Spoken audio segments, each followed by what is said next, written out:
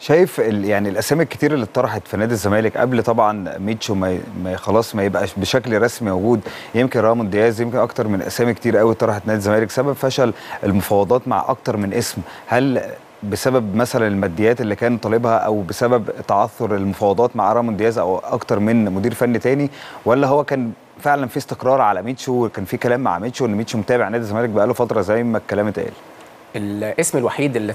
تم التعثر المفاوضات معاه بسبب الماديات هو م. الأرجنتيني رامون دياز رامون دياز آه، أكتر من مرة يتراجع في آه، مطالبه ويرجع يطلب حاجات تانية من نادي الزمالك آخر أو النقطة الأخيرة اللي يعني خلاص قفلت باب رامون دياز هو إصراره على الحصول على ست شهور كشرط جزائي وست شهور مقدم.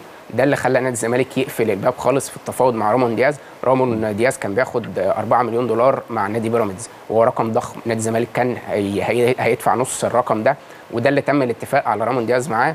لكن آه، فكرة آه، طلبه ست شهور شرط جزائي آه، حال فسخ نادي الزمالك التعاقد معاه الفكرة إن المديرين الفنيين بيتخوفوا من الإطاحة آه، مبكرا في نادي الزمالك. نادي الزمالك يعني آه، شفنا الفترة اللي فاتت غير عدد كبير من المدربين صحيح.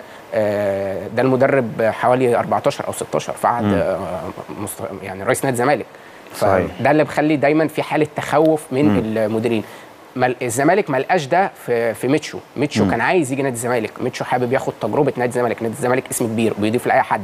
آه، شفنا مدربين آه، زي فيريرا جه يدرب نادي الزمالك. هو ما كان- ما كانش متواجد في تجربة قبل نادي الزمالك. جه درب نادي الزمالك. تواجد آه، في نادي السد. حقق إنجازات وبطولات صحيح. كبيرة مع نادي السد. وكان بياخد آه، يعني أربع أضعاف مرتبه مع نادي الزمالك.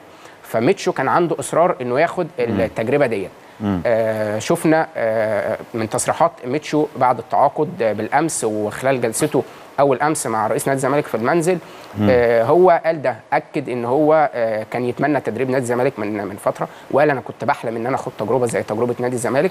وبرده هو اتكلم في نقطة إن عمه كان متواجد هنا آه في الثمانينات ودرب آه نادي الزمالك.